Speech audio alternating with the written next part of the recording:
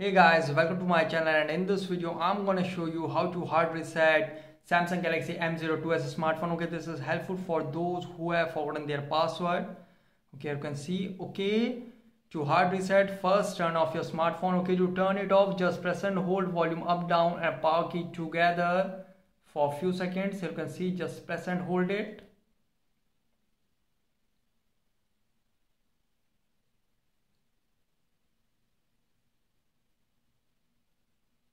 Okay now release now press and hold uh, volume up and power key together for a few seconds.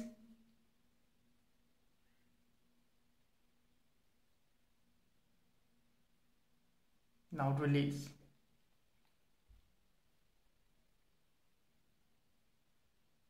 And you can see it will send you in android recovery mode. Okay now volume rocker is to move up and down and power button to select. Okay now go to wipe data factory reset and select okay you can see wipe all user data. This cannot be undone. Okay now go to factory data reset and confirm.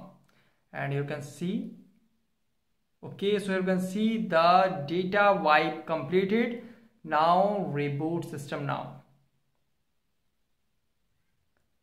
So guys, this is the method to hard reset Samsung Galaxy M02s a smartphone easily. Guys, thanks for watching. If you have any query related to this video, let me know in comment section below. Please like, share, subscribe and click on bell icon for the latest updates.